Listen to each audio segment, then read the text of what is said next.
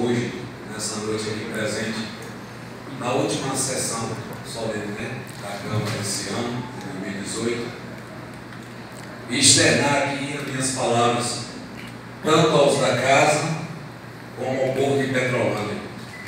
Esse povo amado e querido que tanto me recebeu, e a cidade tão querida que eu tanto amo, e que eu aprendi a amar, tanto que resolvi criar a minha família aqui Quero dizer que é uma honra esses últimos dois anos, esse último biênio em que eu estive aqui na frente da assessoria jurídica dessa casa.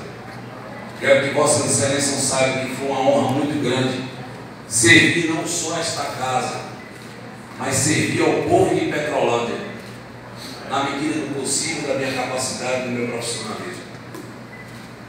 Queria trazer uma mensagem que nesse Natal que o nosso povo não só pense no Natal como uma festa onde se reúne as pessoas para cear e se fartar e ver os seus entes queridos.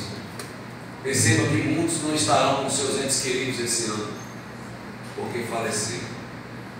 E muitos também, brasileiros e petrolandenses, também não terão ceia farta por dificuldade financeira e falta de emprego. Quisera eu que nós acordássemos para a realidade da vida e que pensássemos no Natal como uma época de reflexão, de pensar no próximo, de pensar na mensagem verdadeira e genuína de Deus, e que mudássemos nossos pensamentos e as nossas práticas e ações para que em 2019 passássemos a amar mais ao invés de odiar, passássemos a perdoar mais ao invés de perseguir, passássemos a desejar o bem ao próximo ao invés de desejar só para si. Para que nós passássemos a olhar o próximo como se esse próximo fizesse parte de nós mesmos. Porque uma sociedade ela é constituída de um povo, um território e uma nação. E Petrolândia só é o que é, não só por causa do rico, mas sim também dos pobres.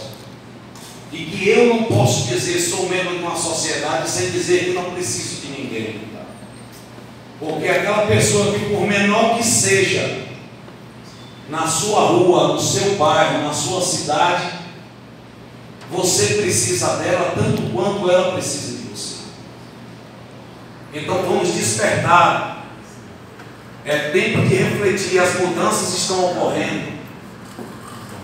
E nós precisamos trazer para a gente, tanto dentro desse legislativo como na rua, em nossas casas, a união, a paz, o amor, o pensamento para com o próximo, para que a gente consiga perpetuar como sociedade esta cidade. Devemos despertar para isso.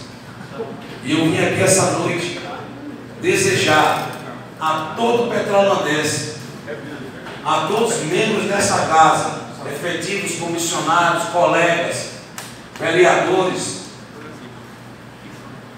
que Deus vos conceda um feliz Natal, de paz, de amor, de reflexão, e que conceda a todo o povo, a nós, que em 2019 este próximo governo venha trazer algo de bom, algo de melhor, para que se venha pensar em melhorar e nos preparar para o futuro.